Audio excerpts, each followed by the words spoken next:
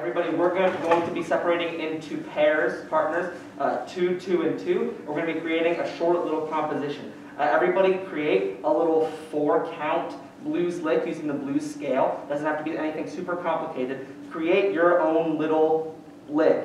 Um, and uh, we're going to come together after you guys are done brainstorming and creating something, and we're going to create something a little bit bigger. All right. All right. So we're going to start out modeling. Let's hear uh, Grace and Michael's.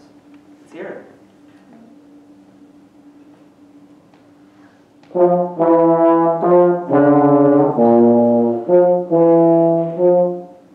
sounds good. All right, now let's hear Jenna's and uh, Noel's.